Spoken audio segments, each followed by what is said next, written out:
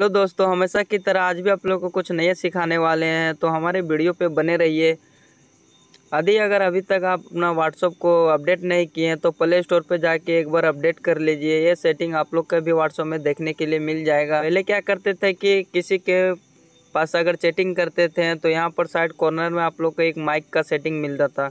वो माइक का सेटिंग पर लॉन्ग प्रेस किए रखते थे तो ये ऑडियो रिकॉर्ड होता था उस उससे हम लोग को कुछ रिकॉर्ड करके भेजते थे। लेकिन दोस्तों व्हाट्सअप में ऐसे अपडेट आया है कि अगर उस पर एक बार आप क्लिक करेंगे तो दोस्तों यहाँ पर आप वीडियो रिकॉर्ड करके भेज सकते हैं किसी के पास। क्या बात ये क्या बात करता है यार?